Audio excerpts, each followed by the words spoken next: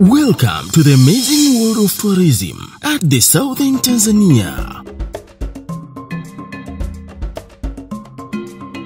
Tanzania has got a lot of attractions. Mikumi is there to us like uh, just fantastic because we see uh, lions very near us, uh, uh, elephants, etc. Very near. You see even today uh, one small elephant with the father looking to us to protect something that we don't see every day. That's the thing that makes me come more and more times to, to Tanzania because I want to know all the parks, I want to see all the animals.